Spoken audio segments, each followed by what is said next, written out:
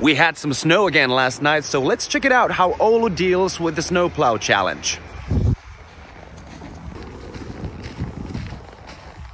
The snow is still being plowed all the way from right there, from the beginning of the street to the side of the cars. Job well done, Oulu. Job well done.